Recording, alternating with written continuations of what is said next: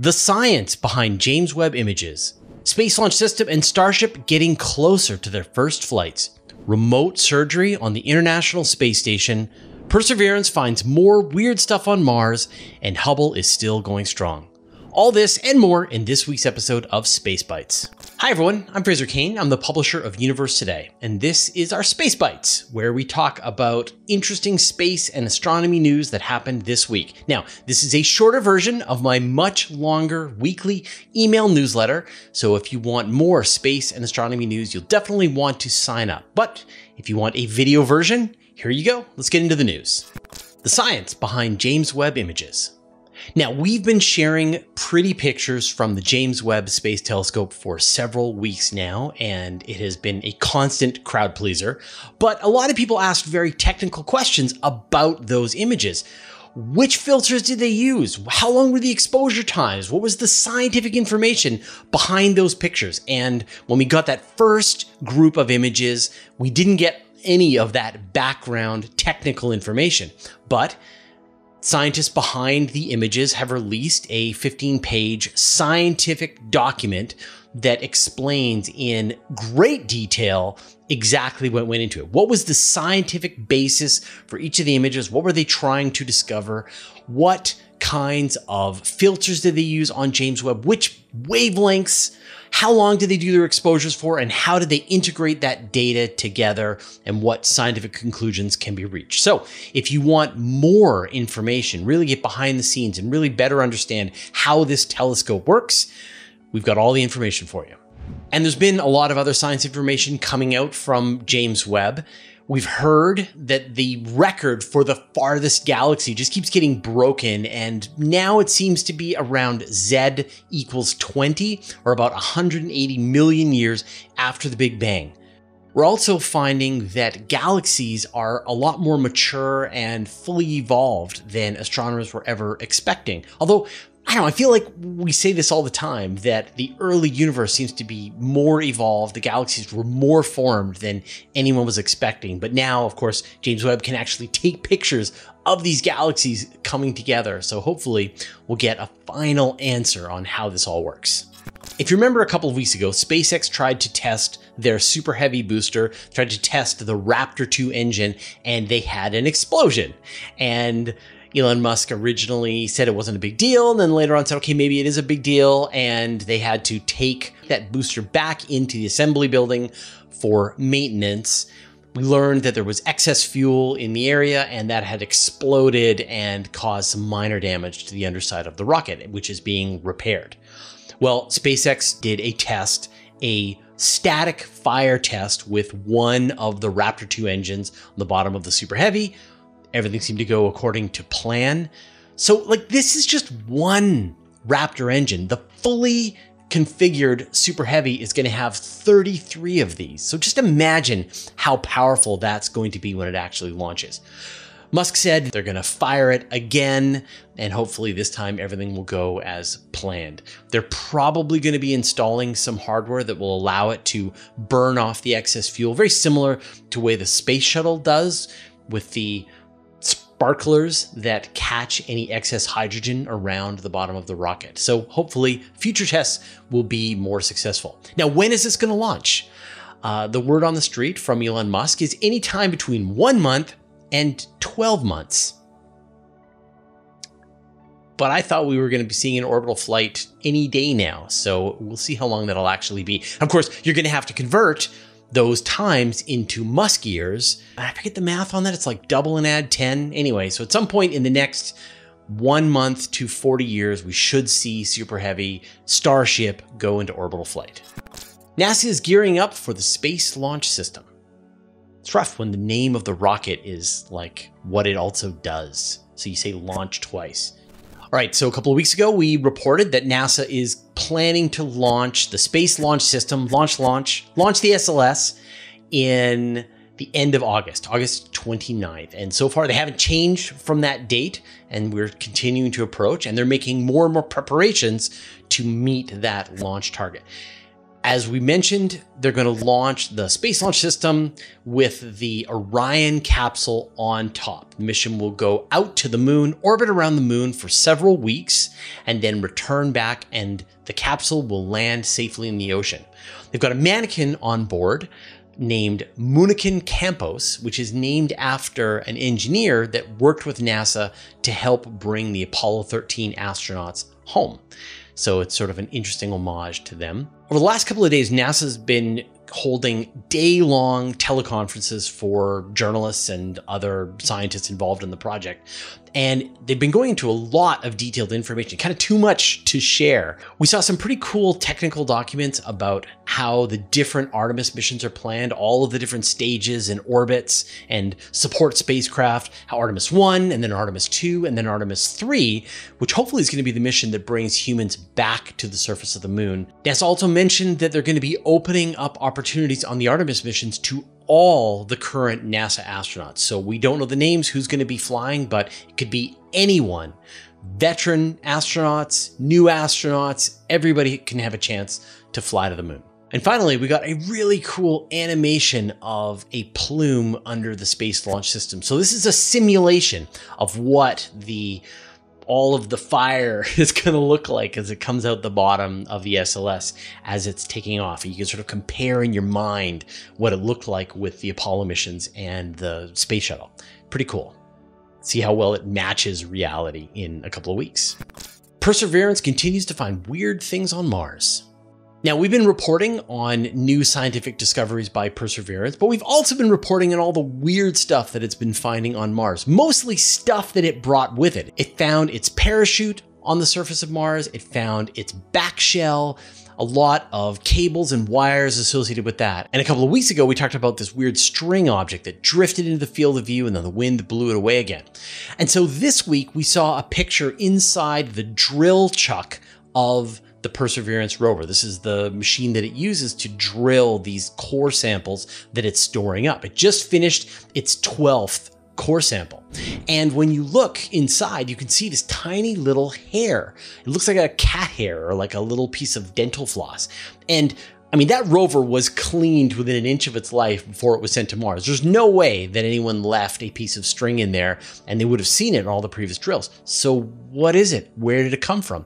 Once again, it probably came from Perseverance itself. It's probably like a string left over from its parachute that somehow worked into the system or blew onto the rover and made its way into this. But NASA engineers are going to continue to analyze it. They're going to try and get the debris out of the drill chuck so it doesn't actually infiltrate the samples that they're collecting. And hopefully, this will be the last of the debris that Perseverance brought with it to Mars, actually getting in the way of the science that it's doing. Celebrating 10 years for Curiosity on Mars. It feels like just yesterday that NASA's Curiosity rover landed on Mars, but it's been 10 years. The rover landed on Mars on August 5th, 2012, and I remember it very fondly. We actually did a live stream on my YouTube channel where we covered that and had special guests who were associated with the mission, and we talked about it, and we had a lot of fun. But 10 years, that's amazing. Now, over the course of this 10 years, Curiosity has really accomplished its main goal of searching for water or evidence of past water on Mars. And it's found many different examples that there was water acting on the surface of Mars for long periods of time. It's sampled dozens of rocks. It's crawled for many kilometers. It's slowly climbing up the flanks of Mount Sharp in Gale Crater on Mars. So, what's next? Well, the next big goal for Curiosity is to move into this ancient flood channel called Gediz Vallis. And of course, there it's going to continue the search for ancient water on the surface of Mars. And it's still going strong. Now, there's some damage to some of its wheels, but nothing that it can't deal with. Its power system is still delivering enough energy for it. All of its scientific instruments are working great. So it's likely we'll still see many more years of science coming from Curiosity. So we've got Perseverance, we've got Curiosity, and of course we've got the Chinese rover. So we've got like three rovers right now working on the surface of Mars. We're living in the future. South Korea's first mission to the moon. A couple of weeks ago, we reported on South Korea's first orbital launch, their homegrown rocket system was able to carry a satellite payload into orbit. But they're also working on their own mission to the moon, which launched this week. It's called Danuri, which translates into enjoy the moon. And it launched on a SpaceX Falcon 9 on a trajectory that's going to take it to the moon. Now, we don't know how it's going to turn out, but if it is successful, then South Korea will become the seventh country to send a spacecraft to the moon, which is pretty exciting. The spacecraft is going to go into orbit at about 100 kilometers above the moon, and it's going to be scanning the surface of the moon. It's going to be testing out different scientific instruments, and it's going to be trying to identify potential landing spots for future missions, both by South Korea and other countries. So stay tuned for that. A remote surgery robot is going to the International Space Station. And one of my question shows several months back, someone asked me, like, how do astronauts deal with medical emergencies on board the International Space Station? Now, they have a giant book, thousand pages, that gives detailed information on how to deal with every medical issue they could face. But for most situations, the answer is hop in a spacecraft and return to Earth so that doctors can deal with it. But that's not ideal. I mean, there's a lot of issues that astronauts will want to be able to deal with on board the station without having to abort their entire mission. So NASA is planning to send a surgery robot to the International Space Station by 2024. And this robot will be able to create very small incisions, do surgery inside the body, do things like resection the bowel, which sounds like pretty big surgery, but apparently it's not. Now, this can be done remotely. So there can be doctors here on Earth that are going to be working the surgical robot on the space station They've done several tests. They've done the surgical tests here on Earth. And also, an astronaut has actually done surgery here on Earth, although the surgery was cutting through rubber bands and moving metal rings around to demonstrate the capability. But if all goes well, we should see this robot go to the space station in 2024 and then continue a bunch of those tests. And you can imagine, again, some kind of future where if there's some kind of medical issue on board the station, doctors on Earth can use this robot remotely to be able to perform the surgery and keep the astronauts safe and healthy without them having to completely abandon their mission. And this will get even more important when you think about situations where, say, they're going to be on the surface of Mars and other astronauts are going to be in orbit. Maybe you have a doctor who's in orbit around Mars that will be able to perform sur- surgery on the astronauts that are down on the station when help is months, if not years away. Dwarf galaxies found without dark matter. Now, we still don't know what dark matter is, but it is a puzzle. And the one possibility is that dark matter is some kind of particle that doesn't interact with regular matter except through gravity. And then the other possibility is that we just don't understand how gravity works at the largest scales. And often we're finding evidence for the dark matter as a particle, but now we've got more evidence for the dark matter as a we don't understand gravity situation. And so what happened was astronomers were looking at dwarf galaxies that were located in a galaxy cluster that was about 62 million light years away. And these galaxies should be protected by a halo of dark matter that should be protecting it and allowing it to maintain a fairly dwarf galaxy shape. And what they found was that these galaxies have been distorted and mangled by the gravity in this galaxy cluster, and they're not being protected at all, which means that they probably don't have very much of a halo of dark matter around them at all. And yet, this is completely the opposite to other evidence where astronomers have found galaxies that have a surprising amount of dark matter surrounding them. They're very well protected. So, which is it? We don't know. The mystery continues. Again, as always, stay tuned. More evidence needed. Hubble is still going strong. Now, we've been sharing tons of pictures from the James Webb Space Telescope, but don't rule out the Hubble Space Telescope. It's still there, it's still working hard, it's oversubscribed, and we got just an amazing picture of one of my favorite types of objects, a globular star cluster. This is NGC 6638. It's a globular star cluster that it's located in the Sagittarius region of the Milky Way sort of near the core of the Milky Way. There's a lot of globular star clusters in that area. And what's amazing about globular star clusters is that they're just these relics. They seem to be as old as the galaxy itself, almost as old as the universe itself. And yet they hold together in this sort of buzzing ball of stars where the average distance between the stars is about one light year across. And I always imagine, like, what would it be like to stand on a planet in one of the stars where all of the stars around you are packed that closely together? It would be quite inspiring where we are in the Milky Way, stars are only about four light years apart or even more. And so it would just be a totally different experience to see the night sky. But Hubble can get us most of the way there. So enjoy this picture.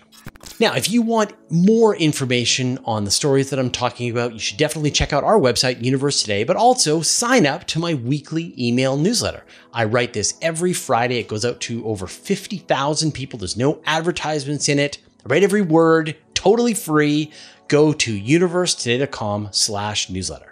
And if you want an audio version of all of the videos that we do at Universe Today, just go to universetoday.com slash podcast or just search for Universe Today on iTunes, Spotify, or wherever you get your podcasts. Thank you to everyone who supports us and helps keep us independent on Patreon. Thanks to all the interplanetary researchers, the interstellar adventurers, and the Galaxy Wanderers. And a special thanks to Andrew M. Gross, who supports us at the Master of the Universe level. Your support means the universe to us. All right, that's all the stories for this week. I'll see you next week. One sneak preview. Uh, I've got a very special interview coming up on August 22nd. Even though I'm in hiatus, I'm coming back to do one special interview. I'm not going to tell you who it is yet, but these images should give you a hint. All right, we'll see you next week.